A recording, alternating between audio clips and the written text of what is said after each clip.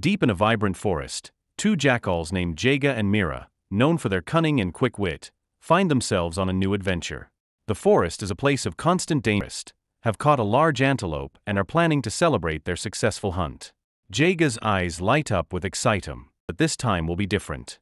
He has a plan, a clever one. While Mira is initially reluctant, her trust at the feast, King Leo, the leader of the lions, is in high spirits, celebrating with his pride. The lions tear into their meal with ferocious appetite. Laugh Jaga, thinking quickly, hatches a brilliant plan. He notices a group of monkeys swinging from the trees nearby, known for their playful and mischievous nature. Jaga approaches them with an enticing offer. He suggests that if Jaga, thinking quickly, hatches a brilliant plan.